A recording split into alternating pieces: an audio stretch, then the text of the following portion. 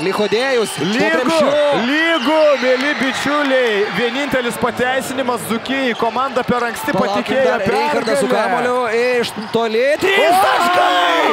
Keitanas Reinhardas, ką jis išdarinėja. Sutvarko visus reikalus ir išplėšia pergalę.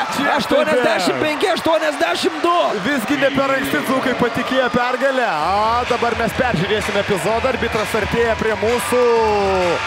Na, spėjo, tikrai, spėjo.